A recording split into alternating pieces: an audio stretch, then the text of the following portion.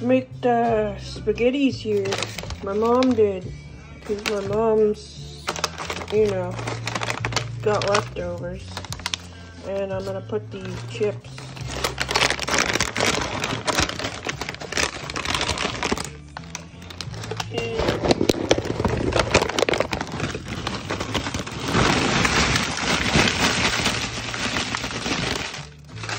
This is how I cook.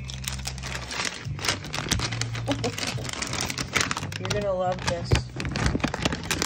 Best lunch you've ever had. Okay.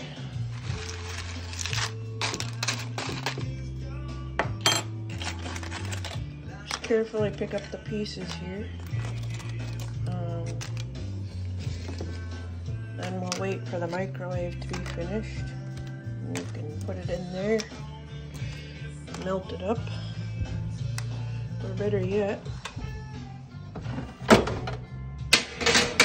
use our oven because we don't have one.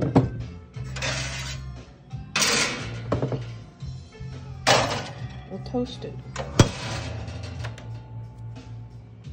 Hmm. I feel like broil would be good. Maybe just bake.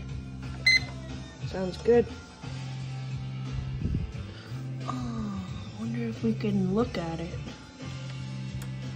There we go. See that in there?